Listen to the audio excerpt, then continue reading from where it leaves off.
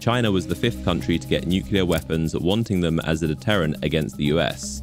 Initially, they received a lot of help from the Soviet Union as they saw China as a useful ally, but as Khrushchev began de-Stalinizing, China's chairman Mao denounced Khrushchev's more cautious approach to the West as being too soft and not in line with the true communist principles.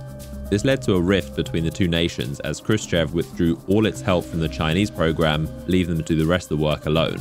China continued their development with impressive speed, especially considering they were dealing with the challenges of the Great Leap Forward and Cultural Revolution. Significant resources were poured into the effort, and they also discovered large deposits of natural uranium, which massively helped. In 1964, the Chinese successfully detonated their first atomic bomb in the large dried up lake of the Lop Nor region called Project 596.